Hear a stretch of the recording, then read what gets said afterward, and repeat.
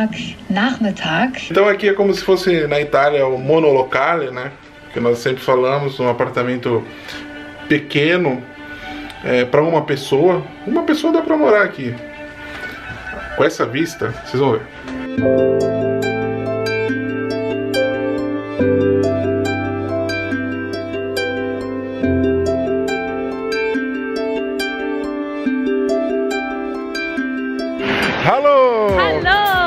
Pessoal, estamos em Innsbruck, na Áustria, na região do Tirol, uma região maravilhosa que nós estamos amando. E hoje vamos mostrar um pouquinho da cidade andando.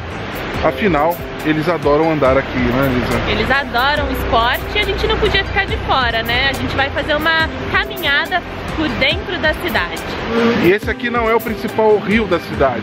Esse é o rio Zil, é um rio menor, que cai lá no rio Inn, que é o rio principal. E, olha só. De Innsbruck. Inn, o nome do rio, e Bruck, que significa ponte em alemão. Então essa junção deu o nome à cidade de Innsbruck, a capital do Tirol.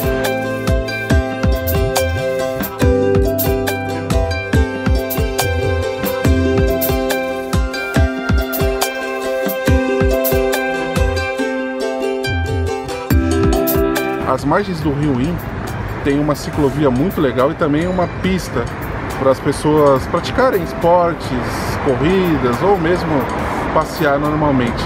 É muito bonito porque tem muita natureza. Quando não tem natureza, tem construções belíssimas, sejam modernas, históricas. É um prato cheio para quem quer passear dentro da cidade.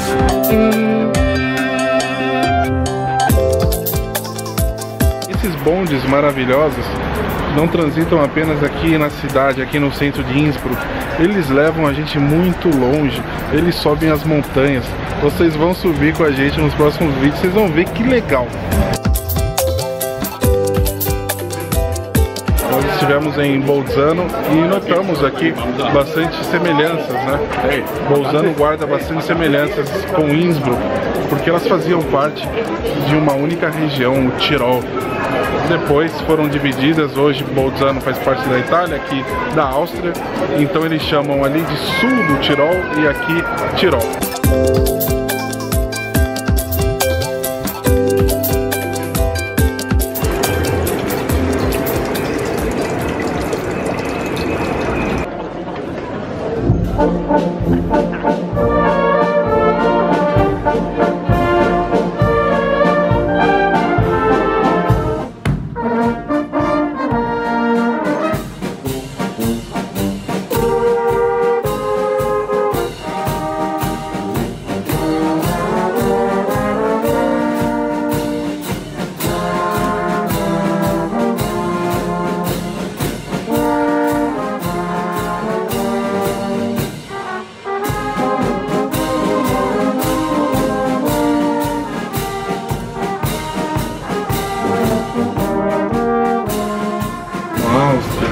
Alemanha, Suíça, elas têm uma tradição de padaria, Bäckerei, muito, muito interessante.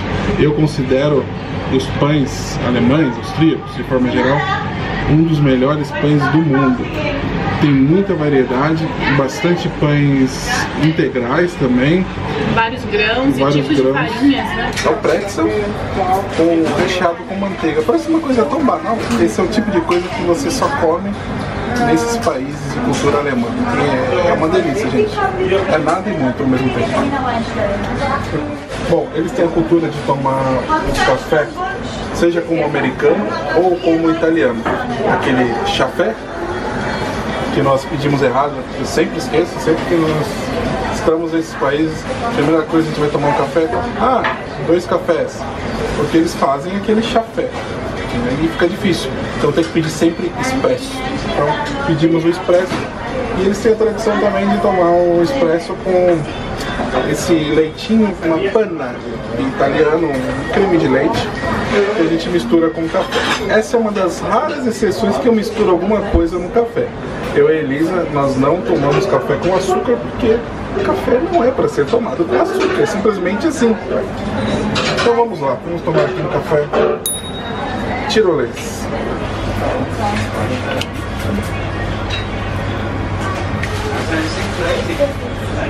En sehr goed milk.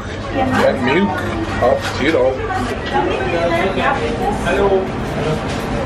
Vou preparar o da Elisa. Pessoal, esse leitinho nós já tínhamos visto algumas vezes em outras viagens que nós fizemos aqui para essa região, essa região com cultura alemã, né? E a gente não entendia muito bem, a gente tinha até visto no avião e tinha tomado puro. E tudo errado. Mas com o café, não tome puro, expresso, não tome puro, porque não é bom é puro. É. Ele tem que ser misturado. Ele né? tem que ser misturado, porque ele é bem espesso. E com o café fica muito bom, muito bom. Thank you. Hello. Good drink. Essa área que nós estamos caminhando com vocês faz parte do centro histórico de Innsbruck, mas a cidade em si, ela é relativamente grande. São mais de 100 mil habitantes aqui na cidade e é realmente uma mescla de estilos arquitetônicos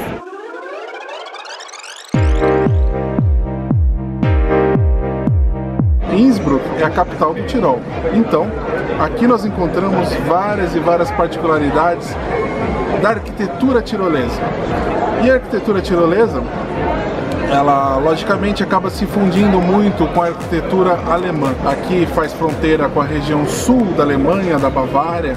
É muito característico encontrarmos peças arquitetônicas da cultura tirolesa, com pinturas que remetem o dia a dia, o cotidiano, as crenças, principalmente católicas.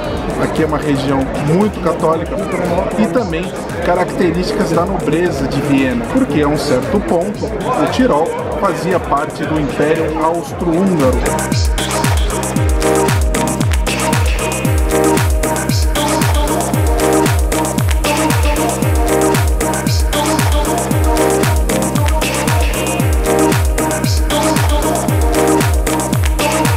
Que além da arquitetura barroca, mais antiga, também ela se destaca pela arquitetura contemporânea, arquitetura moderna. Então nós encontramos vários exemplares das duas arquiteturas em algumas horas que eles estão juntos ali, quase que uma harmonia completa. E isso é muito legal.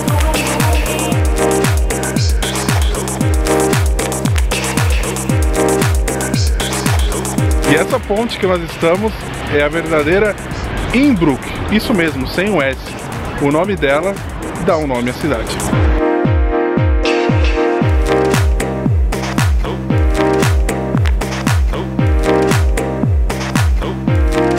Pessoal, que vem por aí é muito legal. Nós fizemos uma caminhada nessa montanha, na montanha lá ao fundo, aquela lá à direita e uma que não dá nem pra ver daqui. Acompanhem!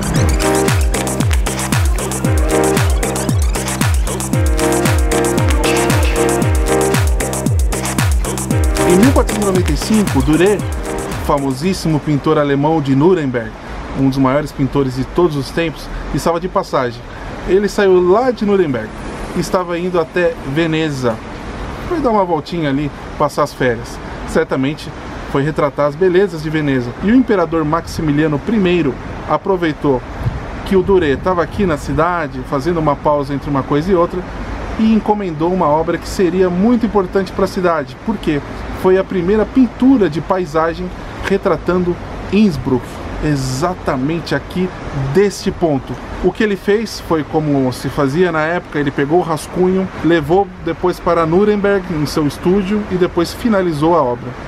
Hoje esta obra se encontra no Museu Albertina em Viena, que nós já visitamos alguns anos atrás, ficamos completamente encantados. E em 2015, a artista Catarina Cibulca e a arquiteta Silvana Bodai fizeram uma releitura desse importante momento para a cidade de Innsbruck, já que ele retratou exatamente aqui nesse ponto os seus rascunhos. Então elas criaram essa interessante arte em ferro junto dessa estrutura que já existia aqui em Innsbruck. E é muito legal e muito emocionante também.